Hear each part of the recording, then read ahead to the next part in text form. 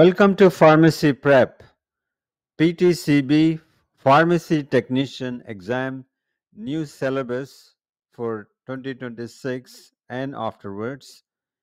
And here in this presentation, also covered exam preparation tips and how to make sure that you successfully pass these exams. So let me start off with uh, changes that has been presented in new PTCB 2026 exam syllabus or the blueprint. So according to this new blueprint, uh, the medication domain, uh, that's the largest part of the exam, that is 35% of the exam. And second part is federal requirement, that is 18.75%. And then patient safety and quality assurance, that is 23.75%. And then order entry and processing, 22.5%. Altogether, 100% of the exams in these four sections are combined in the test. Before we get into the exam syllabus for 2026 blueprint, I like to discuss about the pharmacy technician certification exam format, how the exams are conducted. So basically the exams are administered by Pharmacy Technician Certification Board, that is in short PTCB. And approximate cost is 129 and then uh, this exam is computer based exams and there are total 90 questions are tested and of those 90 questions 80 of them are scored and 10 questions are not scored. That means those are pre-test questions. However it is uh, they are not identified which one are scored and which is not scored so therefore you treat them as a 90 questions. And these 90 questions the time is given to you is two hours that include five minutes of tutorials and five minutes of survey. So basically you can take off about 10 minutes total from the two hours. So you have exactly one hour 50 minutes. And then uh, this pharmacy technician certification exams once you pass this exam and you will be a licensed pharmacy technician and those license or pharmacy technicians are offered at states levels and then those are accepted in the most of the states or almost all 50 states in united states. All right now let's talk about the uh, the syllabus or the blueprint. First domain is medication. That's the biggest part of the exam. That is 35% of the exam. So from this one, the most important thing that one should start doing right away when you're preparing for this exam is first master those top 200 drugs, generic and brand names. And then after working on those top 200 drugs and uh, those generic and brand names, then second thing you should work on the therapeutic or pharmacologic drug classification because that helps you to identify which drugs belongs to from the same class. So that way you can avoid duplication of drugs. For example if patient is taking brufen and also taking naproxen brufen and naproxen from the two same therapeutic drug class that is a non-steroidal anti-inflammatory drugs. So that means those two drugs are considered as duplication of the drug therapy. So, like those kind of knowledge can be done, knowledge based questions can be solved or can be answered by knowledge, having knowledge on therapeutic drug classification. Next one is uh, questions are also from the dangerous drug interactions and contraindication. There are some serious drug interactions in case a pharmacist find those interactions in patient profile or when the patient received the new prescriptions or refill at that moment a pharmacy technician if they found any drug interaction or contraindications. Like certain medications are contraindicated in pregnancy, some medications are contraindicated in children. That means should not be used, must not be used. Like those are elderly or some specific allergic reactions, contraindications. In those situations, pharmacy technician refers uh, patient to the pharmacist for further uh, looking into those drug interactions and contraindications. So those are the type of questions are related to medications. Next point about the medication syllabus is about dosage forms and then also usage instructions. So drugs comes in various dosage form like topical dosage forms such as creams, ointments, and also liquid dosage forms, suspensions, and most common dosage forms are oral one that is taken by mouth like tablets, capsules, pills. Those are often considered as a different dosage forms. So there are some specific dosage forms. Some drugs are used by various different uh, dosage forms. Those are knowledge on those information is essential in order to solve questions related to medications. And also, there are most common and serious side effects of the drugs. Some drugs have a very serious side effects, although they can be rare, but that can be serious or um, common side effect. In that case, it is important for a pharmacy technician to uh, refer the patient to pharmacist for identifying and counseling patient on those. Pharmacists are the one who counsel those drug side effects to the patient. And also questions about indication, like means why this drug is used for. Each therapeutic drug class or drug can be used for more than one clinical use.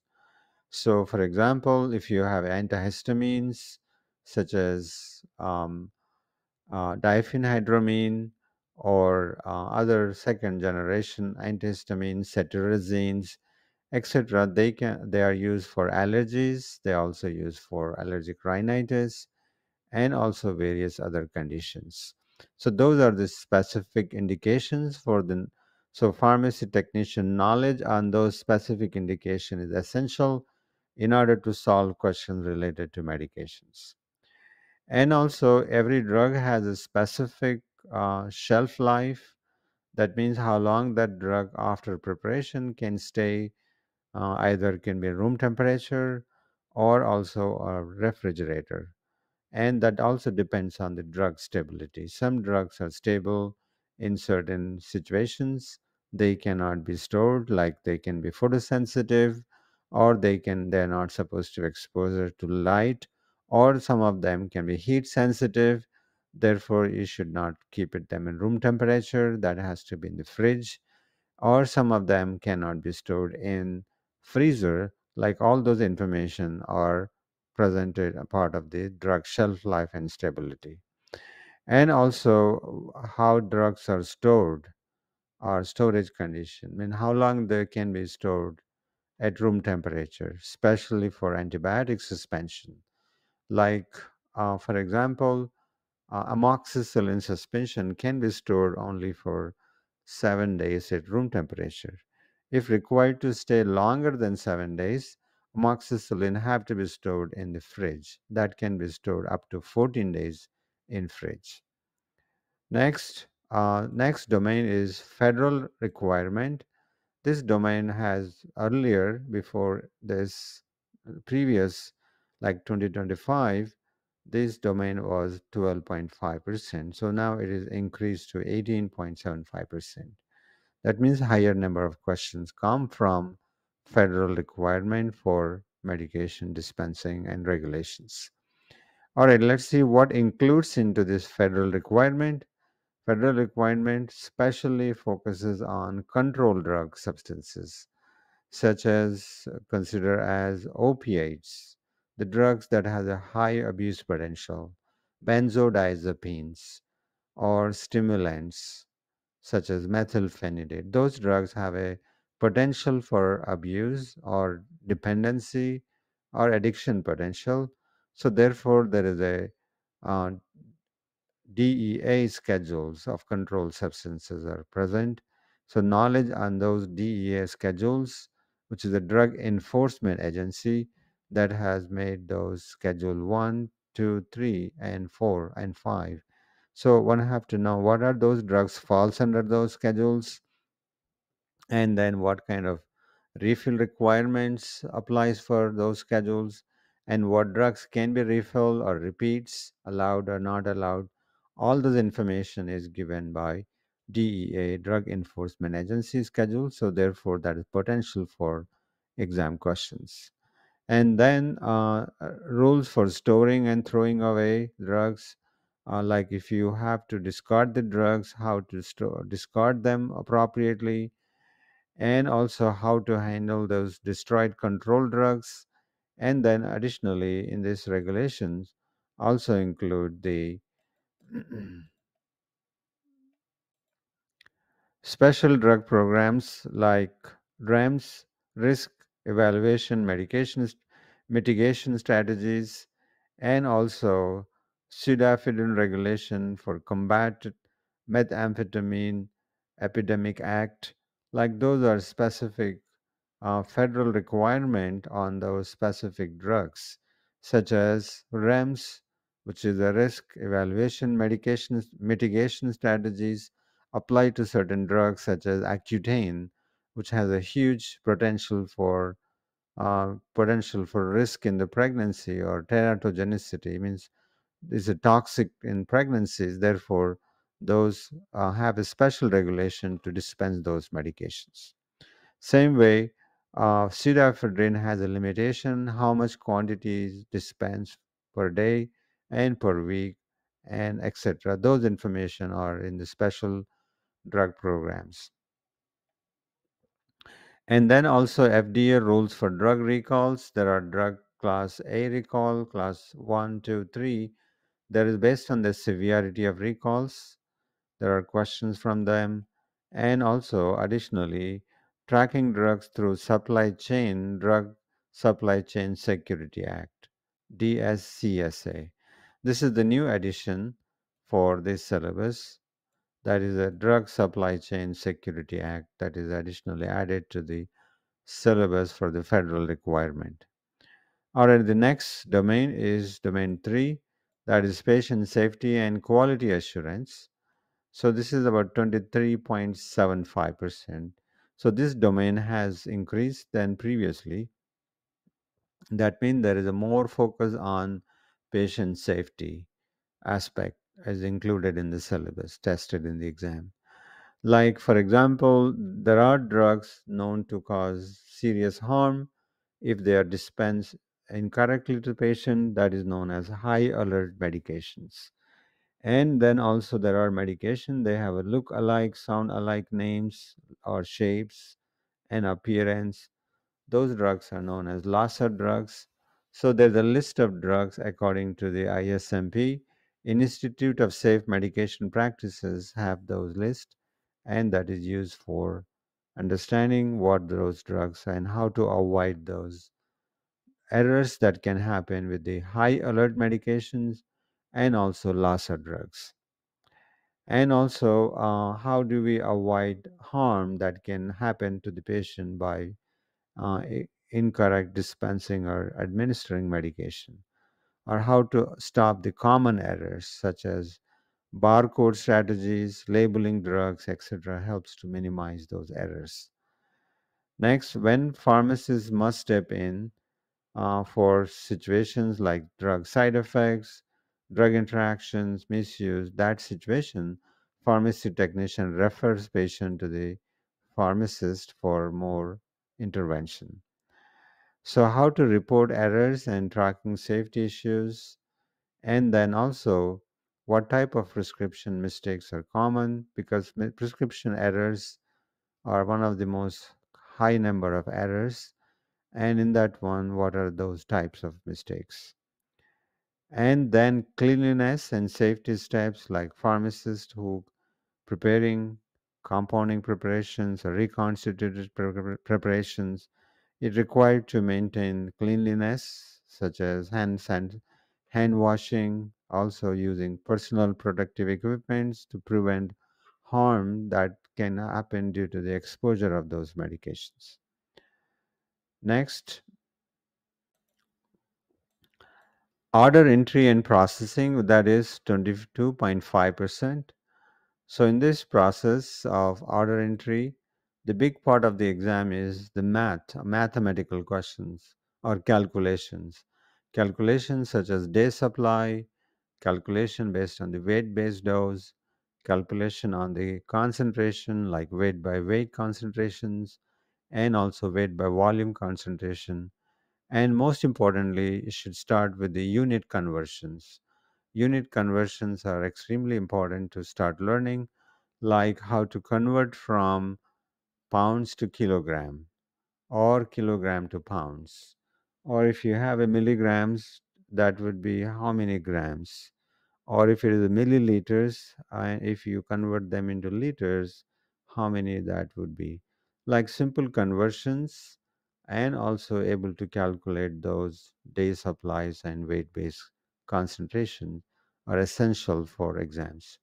And also in this domain, there is a SIG codes that are directions for patients and symbol for filling prescription. Knowledge is essential for ordering that one. Next comes to the uh, tools needed to give medication, like how to administer medications such as uh, oral syringes for children, spacers, fillers, filters. Those are commonly used devices and medications having a tracking system that is lot numbers, expiry date, NDC codes that require tracking of those medication lot numbers. And then comes to the how to return and remove unusable expired drugs from the shelves. So those are the combined all together. There are four domains and that covers 100% syllabus. So now let me give you the how do you study this content. To study this content, the most important is practice mock exams. So Pharmacy Prep publishes several mock exams that include full length of mock exams. They are stimu- they simulate like a real exam and that helps you to identify your spot weaknesses etc and then also a mathematical part of the exam is much focus required because there can be big number of questions on the math or can be less number but in all cases one have to be ready how to solve those mathematical questions so therefore i strongly recommend every day one hour or so you have to practicing mathematical questions. And then comes to the focus on the key topics such as uh, prioritize frequently tested high yield areas and those are the important topics that covered in the exam so therefore you should combine all of them and also remember must revise whatever you have practiced so now you have to select the best source for preparing for PTCB exams.